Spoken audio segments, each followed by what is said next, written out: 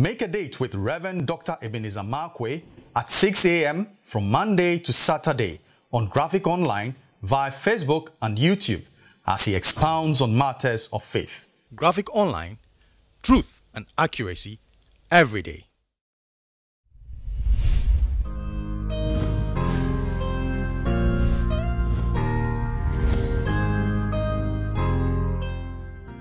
Hello, this is Reverend Dr. Ebenezer Markwei of Living Streams International, bringing you matters of faith with Graphic Online. And this morning, I'd like to capture my, my thoughts with a little bit of medicine, and it's uh, sore thumbs and placebos. Well, sore thumb, you know, a sore thumb, yeah, that sticks out. And then placebos. Placebos are really uh, non-functioning palliatives for a particular illness or something because it is it is supposed to have a psychological effect. It doesn't trigger anything, but it just triggers your mentality that says, look, I'm taking medication, so helps your natural resolve and your natural resources to kick in in order to be able to bring healing. I'm, I'm, I'm looking at the story of David and um, Bathsheba and Nathan, you know.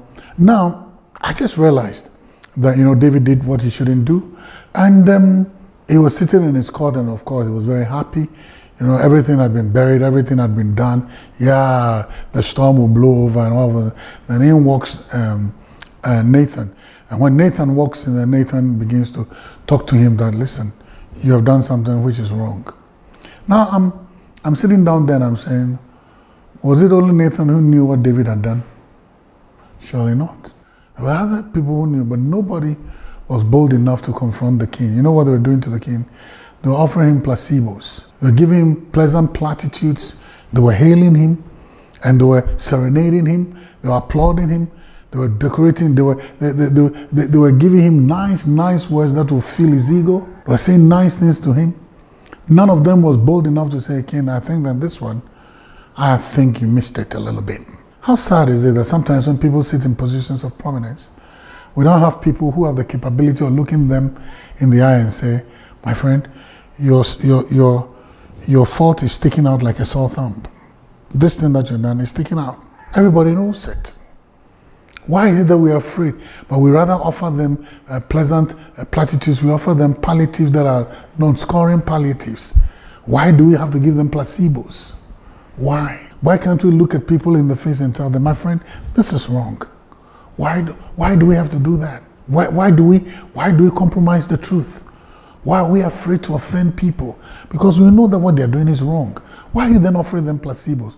Why are you salving their conscience? Why are you trying to applaud them? Why are you clapping for them? Why are you blessing them? Why are you telling them that this is this thing that you're doing? Yeah. Why don't tell them that I think this is wrong? And you need to deal with it. You see, sometimes uh, when the king is naked, nobody can tell the king you're naked. And everybody is just saying to the king, Oh, you're all right. But the king is naked. David was in serious error. David was out of order. And nobody could tell him, if the prophet come and tell him that this is what you've done. This is wrong. And sometimes you'll be very surprised. You'll be aiding and abetting. That was what Joab did. He aided and abetted him in that crime. But the, but the error of the king is sticking out like a sore thumb. David's mistake was sticking out. It was thinking. You can push it under the rug, you can push it under the carpet, but it will stink. And somebody must be bold enough to say in the room, mm, something is thinking under the carpet. King, it is yours. People must be able to look at their friends.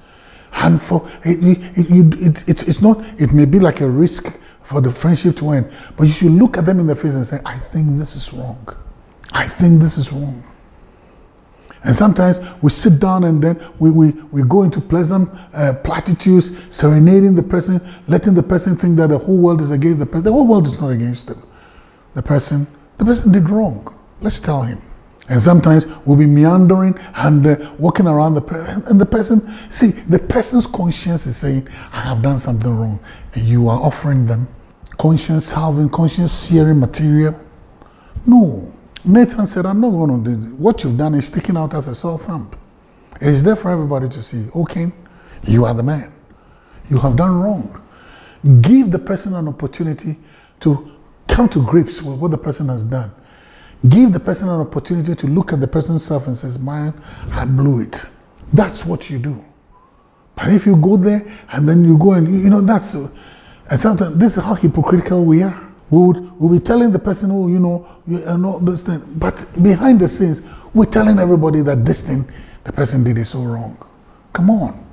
Stop offering placebos when the sore thumb is sticking out.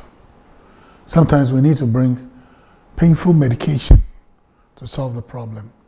Truth hurts, but truth helps.